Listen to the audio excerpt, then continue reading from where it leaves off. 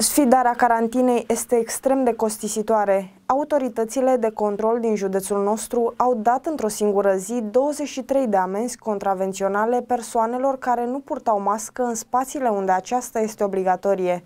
De asemenea, în ultimele 24 de ore au fost verificate peste 40 de societăți comerciale. În urma activităților desfășurate au fost aplicate 23 de sancțiuni contravenționale pentru nerespectarea măsurilor de protecție individuală și a interdicțiilor de deplasare în valoare de 7.000 de lei. În ultimele 24 de ore au fost verificate 1634 de persoane și peste 40 de societăți comerciale cu privire la respectarea măsurilor impuse în această perioadă, obiectivul urmărit fiind siguranța cetățenilor.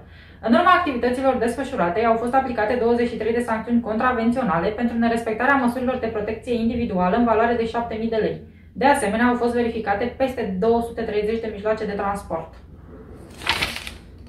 În această perioadă, purtarea măștii de protecție este obligatorie în toate spațiile publice închise și deschise pentru toate categoriile de persoane, vaccinate, trecute prin boală sau nevaccinate. Activitatea restaurantelor și cafenelelor în interiorul clădirilor și la terase este permisă până la 50% din capacitatea maximă a spațiului în intervalul orar 5-21.